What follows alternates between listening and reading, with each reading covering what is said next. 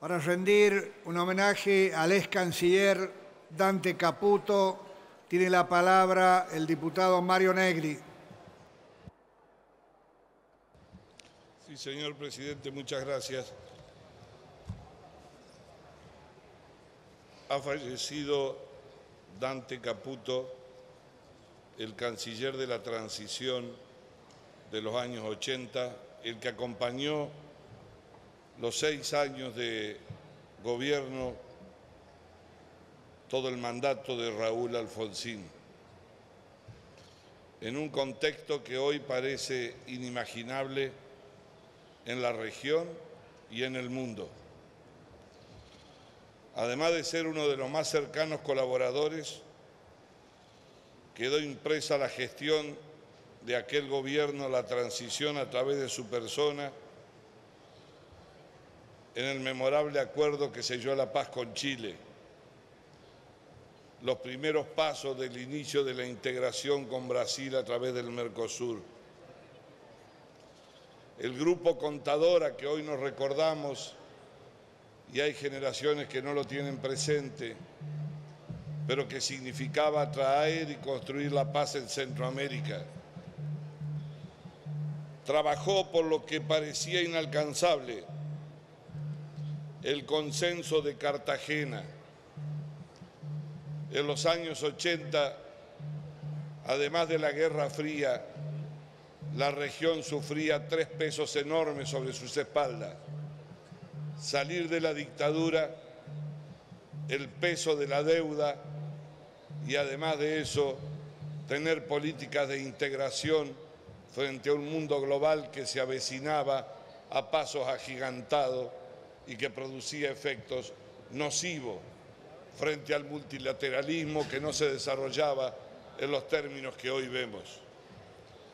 Dante Caputo cumplió un rol más que trascendente, creyendo y expresando lo que la administración de ese momento tenía como norte en su política, defender los intereses de la región, hacerlo en paz y hacer una religión de la no intromisión en la vida de los pueblos latinoamericanos que eligieran sus gobiernos.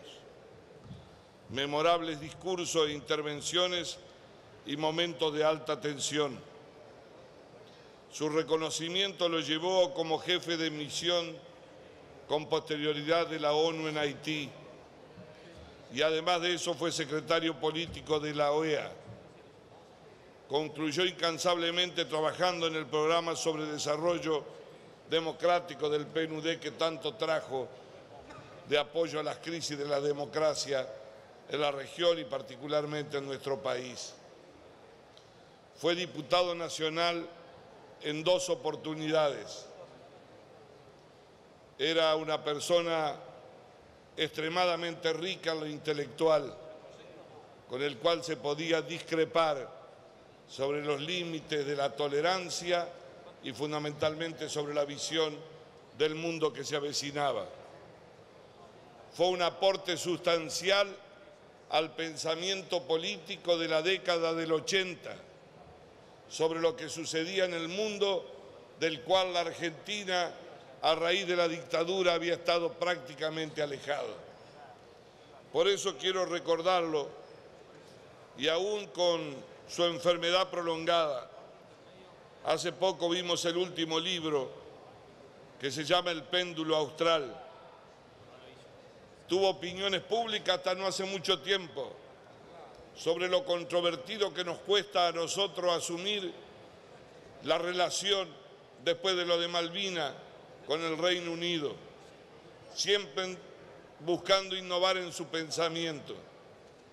Y también lo más importante sobre lo que atraviesa como saldo pendiente la democracia joven a la Argentina, que es poder diferenciar la necesidad de los consensos por encima de la coyuntura electoral, que permanezcan colocando a un país con previsibilidad, que gane confianza, que sea reconocido en el mundo y que el talento individual que la educación pública dio durante tantos años a un montón de hijos no sea el reconocimiento individual, sino el capital mayor que tenga un país para seguir creciendo. Termino con esto que decía en su libro, su preocupación central, cuál era la construcción de un poder democrático capaz de superar los ciclos de un país que deambula, deambula hace décadas en discusiones si populismo sí, si populismo no, si establishment sí, si establishment no, como dos caras casi de una misma moneda. Y cierra con una cita de Mac Weber que sintetizó su actuación política. La política consiste en una dura y prolongada penetración a través de tenaces resistencias para la que se requiere al mismo tiempo pasión y mesura. Pasión sobra la Argentina, mesura es lo que a veces se nos pierde. Muchas gracias, presidente. Muchas gracias, señor diputado.